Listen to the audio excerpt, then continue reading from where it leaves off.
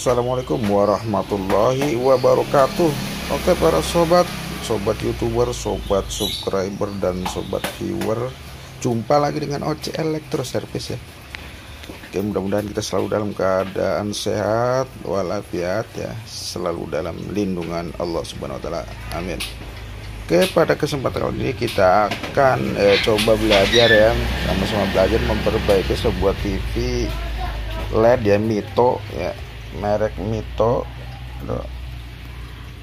Ya, merek Mito dengan nomor seri sebentar kita balik ya. Ini nomor modelnya ya. Nah itu. Ya model nomor E32 E9100 ya. Seperti itu. Ya jadi 32 in ya. Jadi ini ya, kasusnya standby lampu standby tapi tidak bisa di on dari power tombol-tombolnya ya. Tidak ada respon dari tombolnya. Eh, dan remote juga katanya tidak ada. Ya, kita akan coba cek ya. Kita colokan Bismillahirrahmanirrahim. Oke. Standby sudah nyala ya. Oke kita akan coba pencet dari tombol power. Di sini ada tombol powernya nih. Nah di sini ada berapa tombol ya? Nah ini tombol power. Coba kita tekan ya pakai remote juga tidak respon. Kita tekan ya. Sudah kita tekan tapi tidak bisa hidup ya. Semua tombol coba kita tekan tapi tetap tidak bisa hidup ya. Oke kita akan coba langsung bongkar saja kita akan cek apa yang menjadi masalah apakah tombolnya ya atau penyebab lain. Oke kita akan bongkar ya. Nah, ini adalah bentuk dari belakangnya ya ya. Kita akan bongkar beberapa bautnya nih. Banyak nih bautnya. Ya tuh. kita akan copot bautnya ya. Oke kita akan skip dulu pembongkarannya ya. Oke, sobat setelah baut kita lepaskan semua kaki sudah kita lepaskan ya. Ini kita lepaskan dulu nih ya, buat lepaskan ini ya seperti ini. Nah nah di sini kan ada PCB buat sensor remote ya. Kita buka dulu kita lepaskan ya. Kita congkel dari sini. Ya kemudian kita congkel. Nah kemudian kita cabut ininya ya. Nah seperti ini. Ini sensornya ya. Ya kita lepaskan ya buat ngangkat ininya. Oke kita akan coba lepaskan dulu ya. Oke sobat sudah kita bongkar ya Oh ya teman atau sobat hati-hati eh, saat membongkar ini ya. Karena dia ada kabel pan kabel tombol panel ke sini ya. Jadi kita harus melepaskan dulu soketnya ya soket panel ini tombol. Nah yang ini ya. Oke. Nah seperti ini bentuk mainboardnya nih. Sepertinya udah kotor banget ya. Ini sini ada tulisan 24 bulan 2 2014 ya. Ini cukup lama banget berarti sekitar hampir 10 tahunan. Kata yang punya juga emang sudah lama dan sudah tidak terpakai karena sempat kena hujan ya. Kemudian kita cek ini eh, ikonnya juga udah cacat nih ya. Apa namanya fleksibel cofnya nih itu udah pada karatan nih udah pada ini. Apa e, sepertinya berjamur dalamnya ya. Seperti pasti ini cacat kalau walaupun nyala juga gambarnya udah saya jamin cacat ya. Kalau yang ini bagus ya. Nah, ini ada empat cof ya. Kemudian ini aja nih baut ini karatan ya dua ya.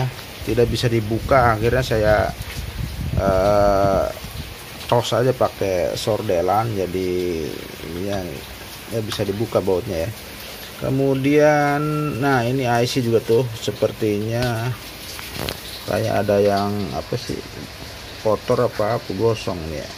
Kotor banget ya. Nah tuh. Sepertinya kotor ya. Ya. Tuh. Ya itu kita akan coba ini aja apa coba perbaiki ini apakah masalah ini kalau hidup seperti apa ya kita akan lepaskan dulu nih panel ininya apa tombol panelnya ya oke. Kita skip dulu ya. Nanti kita akan bersihkan dulu coba ini sebelum ini kita bersihkan. Ya. Ya kita skip dulu ya. Oke sobat. Tombol panelnya seperti ini ya. Nih. Modelnya ada seperti ini. Ya. Nah kita akan coba lepaskan nih konektornya ya. Kita akan buka saja lewat sini. Nah, kita lepaskan saja ya. Nah kita lepaskan saja. Kita akan cek apakah dia bisa hidup ya. Nih ya oh. kita akan langsung ntar eh, coba pakai dari sini ya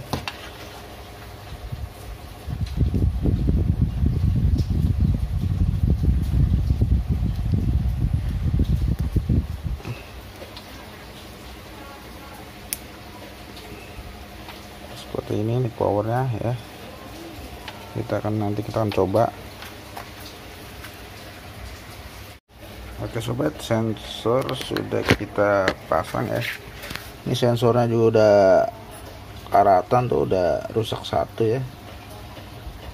Kita akan coba ya. Ini kita akan coba colokan. Nanti kita akan on kan di bagian powernya ya. Seperti apa? Oke kita akan posisikan. Oke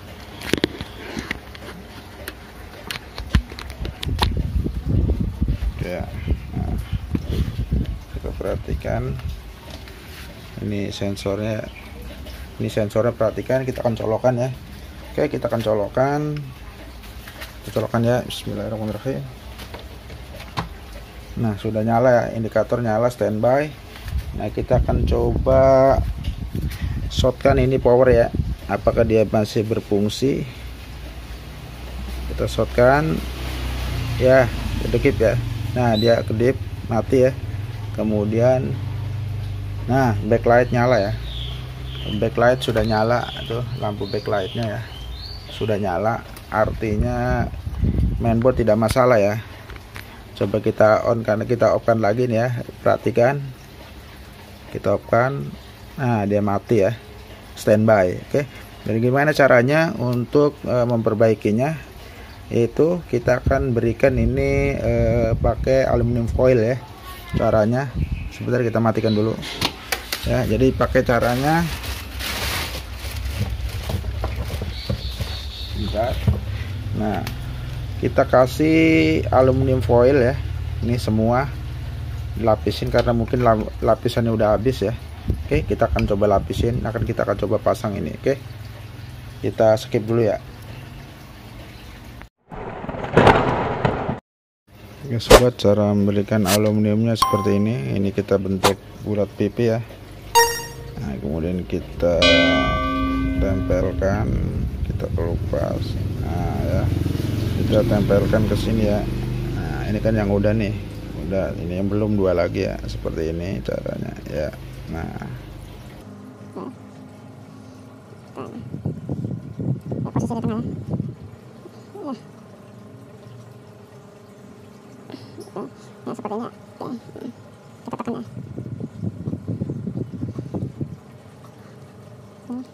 nah seperti ini. Satu lagi ya gitu.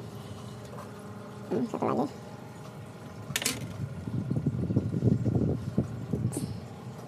Kita bikin bulat-bulat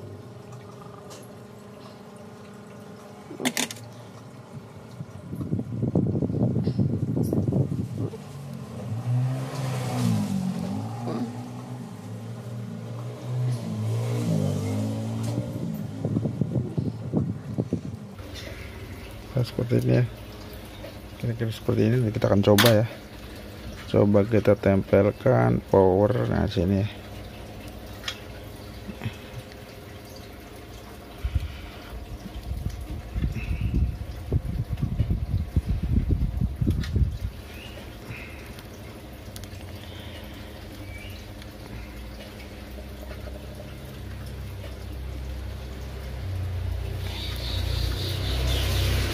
seperti ini.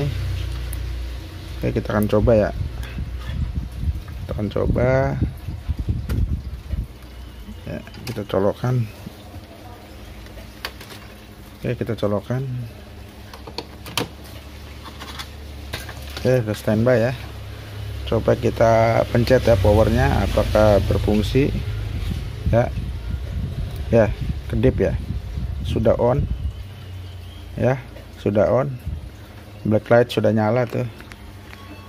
Coba kita lihat gambarnya seperti apa. Eh lepas ya gelap ya. Gelap. Ini tuh hidup. Nah, jadi backlightnya nyala tapi layarnya emang masalah ya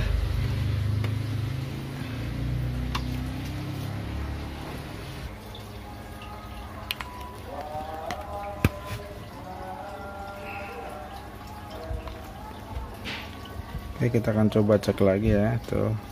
Kita standby kita cek pakai tegangan ya. Oke sobat maaf ditunda dulu tadi ada azan zuhur ya. Oke kita lanjut. Ya kita akan coba cek tegangan ya. Kita ini seperti ini udah jadi ya. Ini dalam keadaan standby nanti kita akan coba cek tegangan. Ya cek tegangan ya. Ini berapa volt? Biasa ini probe hitam ke body ya. Sini saja. Oke kita akan pencet.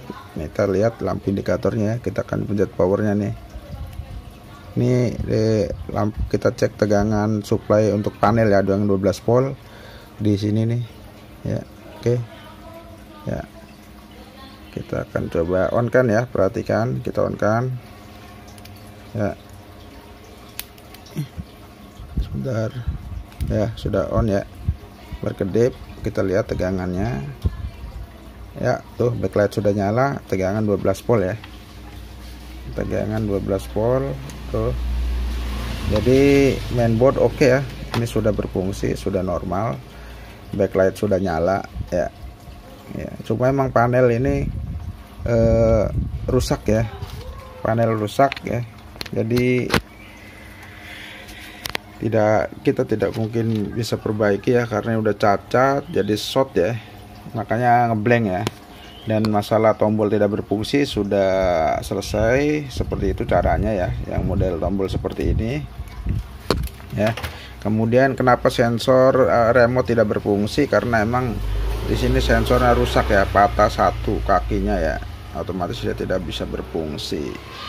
Oke seperti itu. Jadi mengatasi TV Mito remote dan apa tombol panel tidak berfungsi ya. Semoga bermanfaat ya. Oke jangan lupa subscribe-nya kemudian ditekan loncengnya supaya ada pemberitahuan saat OC Electro Service memberikan tutorial seputar elektronika ya.